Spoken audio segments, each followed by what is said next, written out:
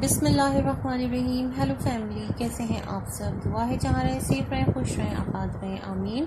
This is the reaction video और इस reaction video में मैं जिस टॉपिक पर आपके साथ बात करना चाहती हूँ तो वो मैंने इसलिए ज़रूरी समझा क्योंकि मुझे ऐसा लगता है कि जो बातें हैं वो कुछ तोड़ मरोड़ के भी आगे बयान की जाती है और जो लोग नहीं जानते तो वो उस पर बड़ी आसानी के साथ बिलीव भी कर लेते हैं।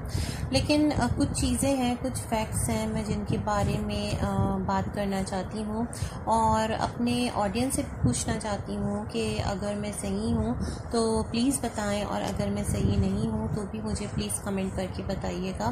तो बात यह है कि मैंने मुख्तलिफ़ वीडियोस देखी हैं और जिसमें कि बाबर और साजिद साहब के बारे में ये कहा गया कि उन दोनों को सऊदिया से ब्लैक लिस्ट किया गया है और उन पर ब्लेम है कि कुछ चोरी चोरी वगैरह का कुछ इस तरह का सीन था। तो मैंने देखी वो वीडियोस और मैं यहाँ ये आप लोगों से पूछना चाहती हूँ कि सऊदी अरब जो है, वहाँ पर शर्य कानून नाफिज है। सही, जिस तरह वहाँ कातिल की सज़ा गर्दन उड़ा देना है, उसी तरह चोर की सज़ा हाथ काट देना भी है। तो अगर साजिद साहब और बाबर ने वहाँ चोरी की थी, खुदा नखास्ता तो किस तरह से उनको सिर्फ़ ब्लैक लिस्ट कर दिया गया, अगर उन पर चोरी चोरी का इल्ज़ाम साबित हुआ था उस टेरिटरी में तो उन्हें वहाँ के मुताबिक सज़ा क्यों नहीं दी गई? ये आ, एक मेरी समझ में बात बिल्कुल भी नहीं आई है और मैंने सोचा मैं आप लोगों से पूछूँ क्योंकि मैंने सर्च किया कि सऊदिया में चोरी की सज़ा क्या है तो मुझे यही मिला कि वहाँ पर शर्य सज़ा नाफिज है और वो है चोर के हाथ काटना ठीक है? तो एक मुझे इसका काइंडली आप लोग जवाब दीजिएगा क्योंकि देखें हम अगर किसी पर रिएक्शन देते हैं किसी के कंटेंट पे बात करते करते हैं तो हमें स्टिक रहना चाहिए उसके कंटेंट के साथ। लेकिन इधर उधर से जब कुछ बातें सर्कुलेट करने लगती हैं जस्ट लाइक रूमर्स तो बहुत ज़्यादा मतलब लोग उस पर भी बिलीव करने लगते हैं, बग़ैर किसी तहकीक के और ये एक सही प्रैक्टिस नहीं। तो मैंने सोचा कि मैं आप लोगों से ये बात ज़रूर शेयर करूँगी और पूछूँगी। दूसरी बात यहाँ मैं ये कहना चाहती हूँ कि जो सितारा हैं, उन्होंने कहा कि उनका घर उनके हस्बैंड ने सेल कर दिया है और वो ज़मीनी घर लेंगी। तो मैंने उनके कमेंट्स में पहले तो इस वीडियो की जाकर देखा तो बहुत ज़्यादा लोग नाराज़ थे उनसे और कह रहे थे कि आप सिंपैथी गेन कर रही हैं और आप मिसलीडिंग टाइटल्स लगा रही हैं। फिर लोगों ने, मैंने एक कमेंट पढ़ा कि ये ज़मीनी आसमानी घर क्या होता है? तो मैंने सोचा मैं आपको थोड़ा क्लियर कर दूँ कि जो ज़मीनी घर होता है मतलब ये कि प्लॉट जहाँ पर ख़रीदा जाता है, जहाँ पर ज़मीन ख़रीदी जाती है। अब सितारा का जो एक्स घर था, वहाँ पर वो फ्लोर था, यानी वो फ़र्स्ट या सेकेंड में भी फ्लोर पर थी तो वो फ्लोर था, यानी ग्राउंड फ्लोर नहीं था, बल्कि फ़र्स्ट फ्लोर था। तो ज़मीनी घर मतलब ग्राउंड फ्लोर जो कि उनका अपना हो, ठीक है ना?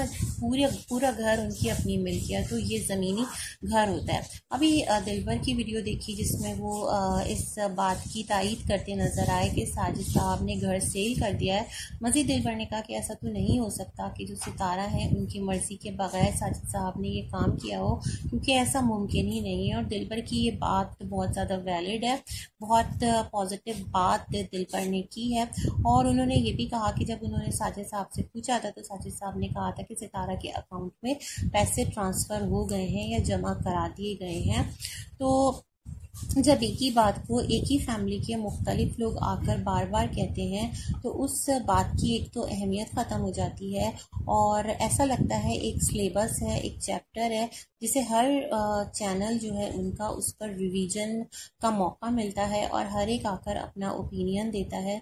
जबकि सितारा का ये कहना था कि उनके हस्बैंड ने उनको बताया ही नहीं और उनकी मर्ज़ी के बगैर घर सेल कर दिया और मतलब बात तो चल रही थी, लेकिन जब वो सऊदिया आई तो उनके हस्बैंड ने घर सेल कर दिया और घर सितारा के नाम था और अभी सितारा के सिग्नेचर भी नहीं हुए।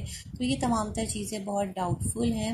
मैं यहाँ ये कहना चाहूँगी कि सितारा आपको, आपके हस्बैंड को और आपकी फैमिली के जितने भी लोग हैं, उन सब का हाथ अल्लाह ताला ने थामा है।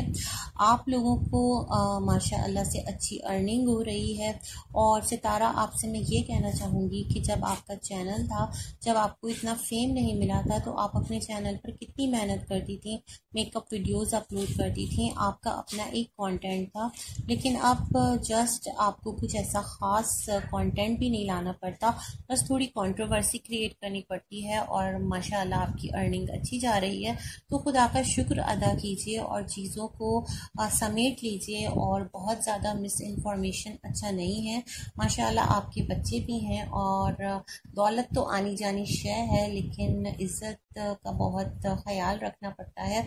और जब आपके बच्चे कल बड़े होकर ज़्यादा, मेरे ख्याल में ज़्यादा दिन भी नहीं है, कुछ अरसे की बात है, ये सारी वीडियोस और कंट्रोवर्सीज देखेंगे तो कितना बुरा इम्पैक्ट जाएगा उन पर तो कोशिश कीजिए बातों को समेट लें और रुक जाएँ, बाकी खुश रहें तो याद रखें, अल्लाह हाफिज़।